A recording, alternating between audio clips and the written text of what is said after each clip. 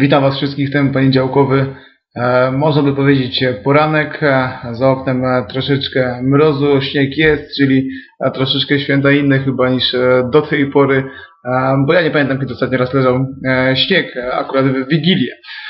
W weekend tak naprawdę ze sportu walki działo się tylko to i aż to w zasadzie, bo zawsze każda walka Tomka Adamka jest wielkim wydarzeniem w narodzie. E, Ale czy faktycznie Tomek Adamek jest tym zawodnikiem, który rusza powoli mm, e, gdzieś tam serca Polaków, aby siadać przed telewizorami, aby śledzić jego losy?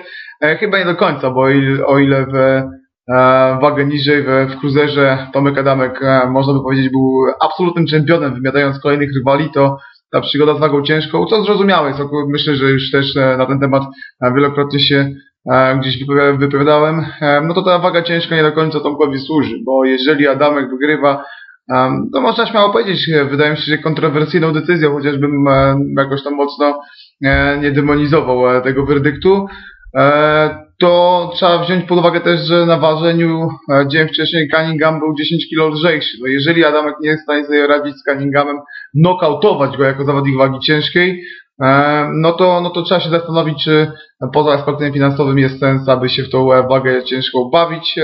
Tym bardziej, że chyba no, tak, jak, tak, jak, tak jak mówiłem przed chwilą, Adamek nie jest tym zawodnikiem, który tak jak kiedyś Andrzej Gołota e, ruszał naród, aby wstać gdzieś e, rano, e, zrobić sobie kawy i śledzić jego losy. Nie zawsze długie te walki, ale, ale zawsze niezwykle emocjonujące.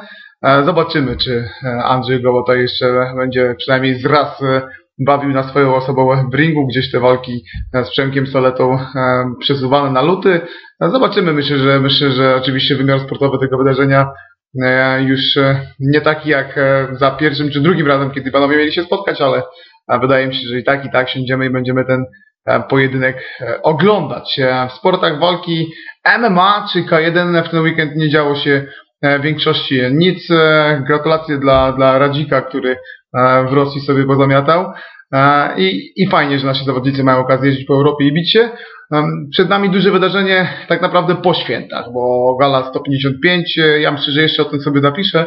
E, No i wydarzenie chyba największe z możliwych, e, bo ja osobiście odkąd jestem fanem em, sportu walki, jako kibic czegoś takiego jak to, co będzie miało miejsce w Tokio, czyli ten turniej 16-osobowy Glory e, w, kooperacji z japońskim Dream.